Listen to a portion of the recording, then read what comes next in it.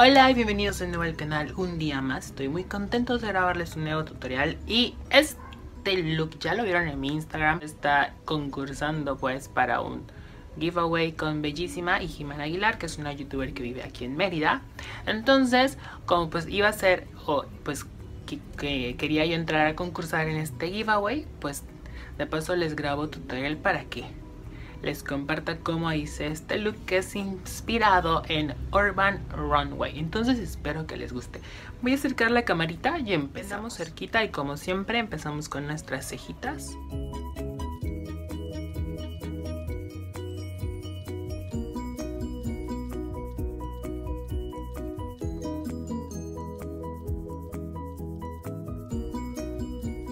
Pueden ver ya limpié mis cejas Vamos a hacer un ojo smoky muy dramático. Vamos a aplicar un poco de corrector en toda nuestra almendra y lo vamos a sellar con una sombra negrita, pero solo hasta aquí la mitad. Esta parte la vamos a dejar libre porque le vamos a aplicar otro color más vibrante. Sé que ahorita parecemos banditas, pero no se preocupen. Antes de sellarlo vamos a difuminar un poco esto con nada de producto, solo una brochita para difuminar.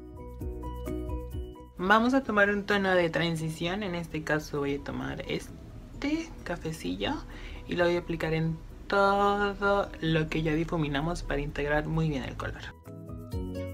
Ahora vamos a sellar y vamos a sellar con sombra negra como les había dicho antes, pero solo del, de aquí de la puntita hasta el centro. Ahora vamos a tomar este color rojo bien y lo vamos a aplicar en la cuenca. Tomar una sombra rojita y la vamos a aplicar en esta parte como para darle luz y llevarlo un poquito hacia aquí abajo. Y ahumaremos con el rojo de aquí arriba.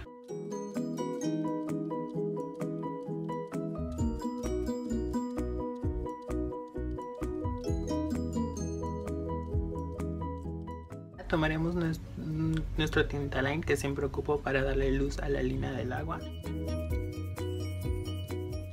con el mismo pigmento que utilizamos aquí, el brillosito, vamos a aplicarlo en nuestra línea del agua. O sea, como que vamos a sellar el delineador.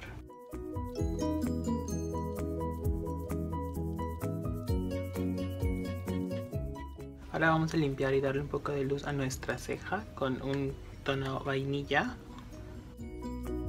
Como pueden ver está un poco desastroso abajo, no se preocupen, vamos a limpiar muy bien. Vamos a aplicar rímel tanto arriba como abajo y pestañas postizas. Y ahora aplicaremos corrector, base, contornos, blush e iluminador.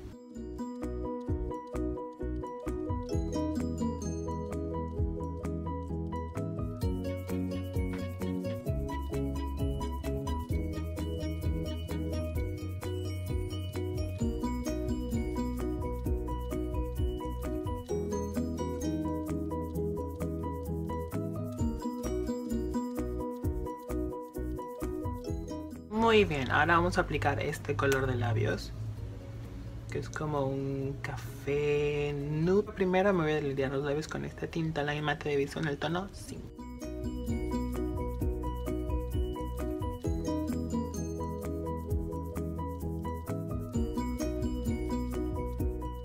Bueno, este es nuestro look final. Espero que les haya gustado muchísimo. Si no tienen esta labial, no se preocupen.